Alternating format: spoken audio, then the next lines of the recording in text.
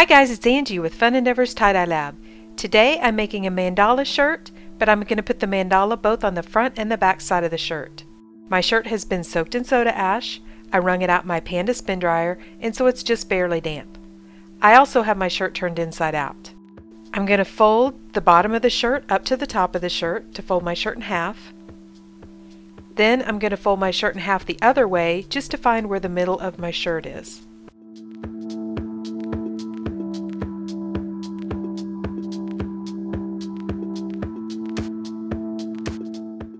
I'm going to use a washable marker and make a dot where the middle of my shirt is. Then putting my thumb on that dot, I'm going to fold the right side of my shirt up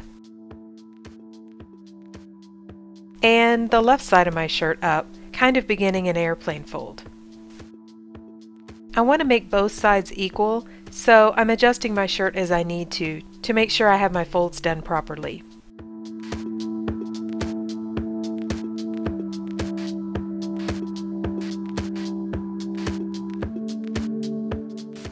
Now I'm going to take my fingers and pinch this main fold and fold the entire thing in half.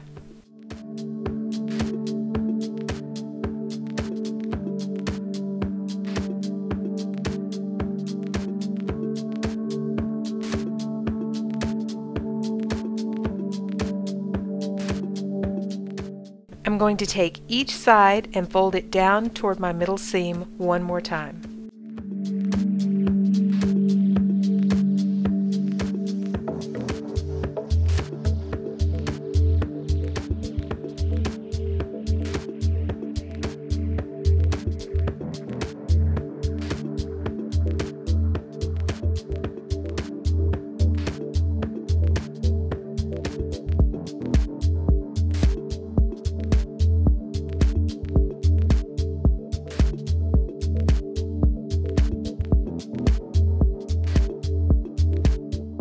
This mandala, I'm going to use some hemostats. So I'm using various sizes of hemostats, both straight and curved.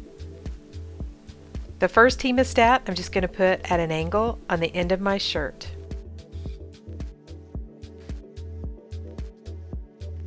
The second hemostat is also straight and I'm going to put it at an angle on my shirt too.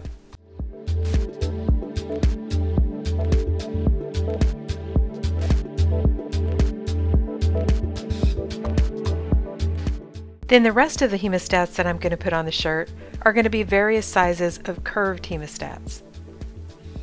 I'm pointing the curve down toward the end of my shirt.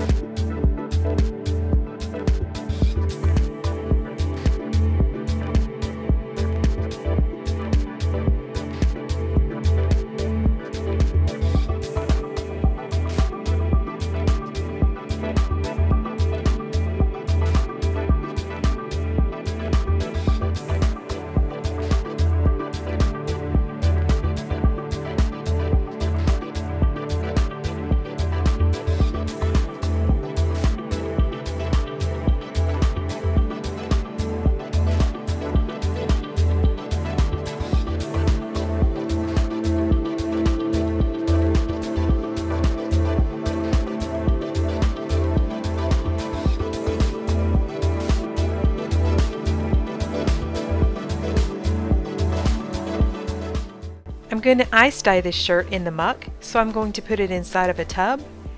And I have to have a tub where the hemostats will fit, so it's got to be a little bit larger tub. Then once I get the shirt down inside of the tub, I'm going to take the rest of the shirt and I'm going to scrunch it up and hold it in place with some rubber bands. Then I'm going to set the shirt aside for a day or so and I'm going to let it dry out really well.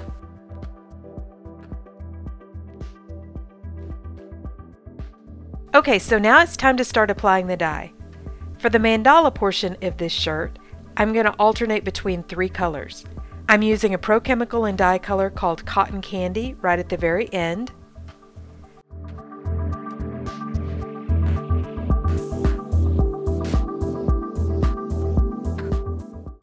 followed by Brilliant Blue from Custom Colours,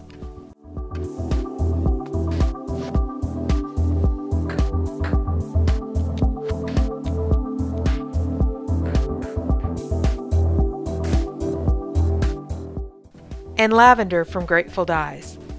I'm just going to alternate those three colors in all of these different hemostat areas.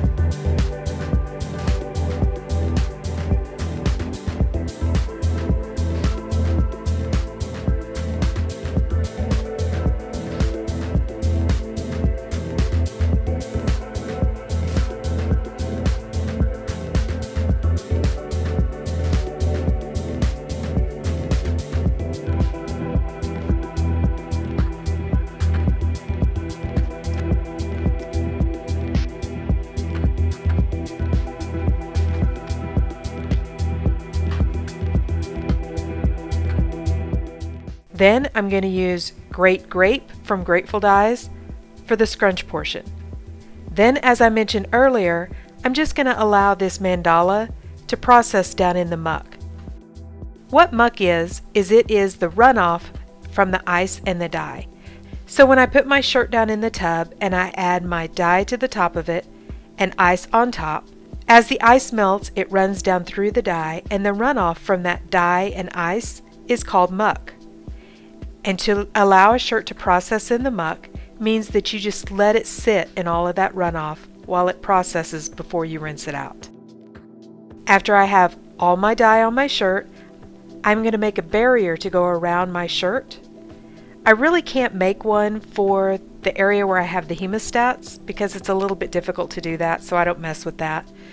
But around the scrunch portion, I'm going to take some strips from plastic cutting boards and bind them together with a couple binder clips, form it around the scrunch portion, and then hold that whole thing in place with some dye bottles that I've just filled with water to use as weights.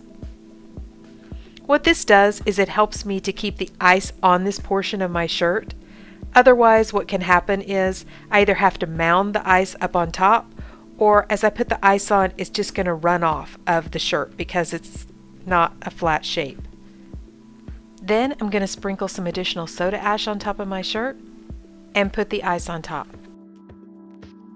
After I finish putting my ice on top, I'm going to set this tub someplace where I don't mess with it or disturb it until I'm ready to rinse it out. I did come back after the ice melted and added just a couple more pieces of ice to the portion where I have the hemostats because that's a pretty thick fold, I wanted to make sure I got plenty of ice and dye going down throughout that area where I wouldn't end up with some big white spots. Then after that second round of ice melted, I went ahead and let it process for at least 24 hours.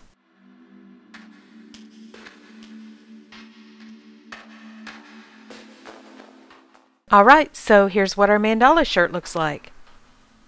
I hope you guys are enjoying these videos. If you are, I would sure appreciate it if you'd hit the big red subscribe button and subscribe to my YouTube channel. Thank you all for watching, and I hope you have a great day.